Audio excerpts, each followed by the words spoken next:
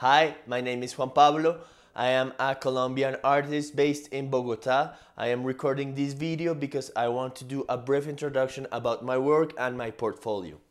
I am a multidisciplinary artist, so you will find works in different mediums and techniques, but you will also find projects, educational and cultural and curatorial projects in which my political stances are clear and evident. You will find how I try to work about human rights, social and climate justice through different art projects involving communities and multiple territories across the country.